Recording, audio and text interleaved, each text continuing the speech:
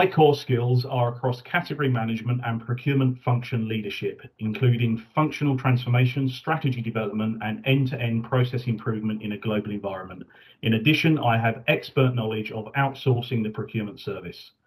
My experience is largely within manufacturing organizations, including pharmaceuticals, chemicals, electrical hardware, packaging, and point of sale.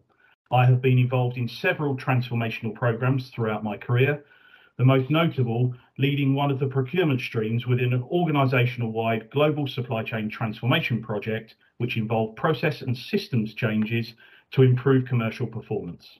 I believe change is partly about the endpoint and largely about the journey to get there. So often people need most help in understanding how to get from where they are to where they want to be.